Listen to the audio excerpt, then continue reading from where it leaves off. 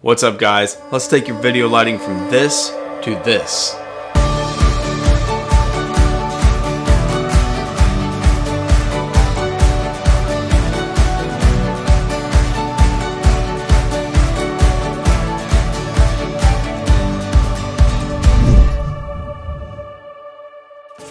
I'm a firm believer in it's not all about the camera. Yes, the camera is important, but more importantly, how you light your scene is even more important.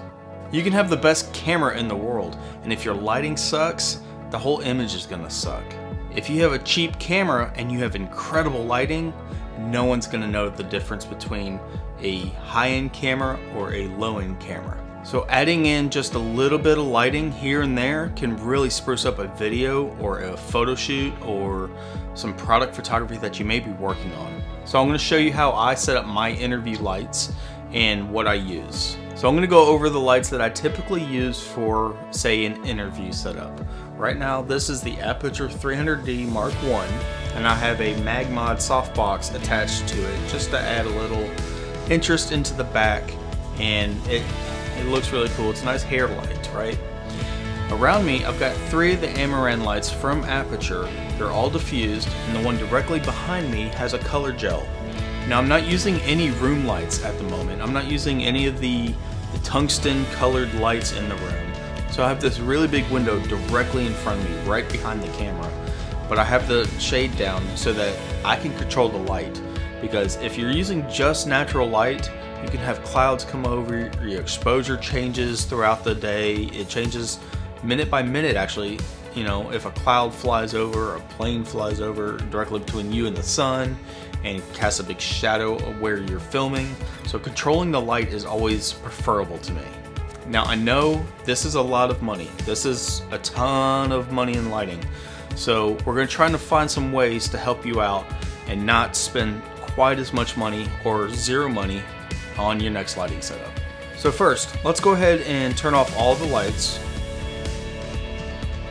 This is what it looks like with no lights, just the window light that's in front of me and a little bit of bleed coming through the shades. Behind me, I've got this kicker light.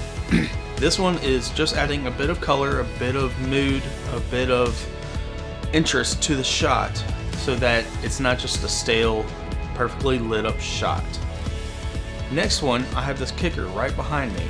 It's helping cut me out from the background. It's helping to give me a little bit of a rim light right here across my head. Next light, I've got this sort of a hair light. It's kind of filling in the shadows on this side of my face. More of a hair light really. And then I have my main key light that's lighting up my face. Now if you wanted to go for more of a moody look, you could turn off one of the side lights and give you more of a moody feel. You know, more shadows on one side than the other gives more of a contrast feel to your image. So adding color to a scene with gels can change the mood and the feel of what you are shooting. For instance, putting red up can make a scene feel very moody, very dangerous, very tense. So when you have colors like red and orange and it, it can add some tension to your shot, it can really drive home that there's something wrong with your main character or your subject that's in frame.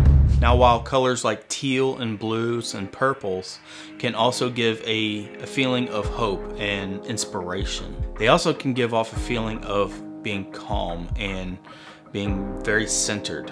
So a lot of the times I like to use these colors, purples, blues, light greens, teals, like that for my interview setups. Now I know not everybody can afford a lighting setup like this. I, I didn't buy it all at once. I pieced it together, you know, I'd get money from a job, I'd buy a piece of kit. Got some more money from a job, bought another piece of kit. It's acquired over time. Not all of this stuff was purchased in the same day. So with a small budget, let's try to figure out what you can do to improve your lighting setup. So one of the cheapest things that you can purchase to improve your lighting is one of these 5-in-1 deflectors. It has a silver side, it has a mixed silver and gold side, it's got a gold side and then a full white side.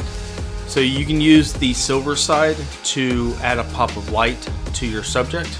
You know, it's way too much, but you get the point. You can reflect sunlight back into your subject. And you wouldn't want to generally, you know, light them from below, but you get the point. So you have a mixed side if you need to warm it up just a little bit. And on the inside, you've got this gold. So also on the inside, you have some diffusion. You know, it's somewhat transparent so that you can use it to soften your light. If you're using like a like sunlight or a kind of a harsh light, you use this to diffuse your light and it looks a lot better. So if you're using direct sunlight, you see how harsh this is? This is really just kind of gross. It doesn't work at all. So using the diffuser right in front of your subject can help diffuse the light and make it a lot softer. Now those diffusers, they're not very much. They're probably 30 $40 for a bigger one. You can get them on Amazon, you can get them at your local photography store. You can get them just about anywhere.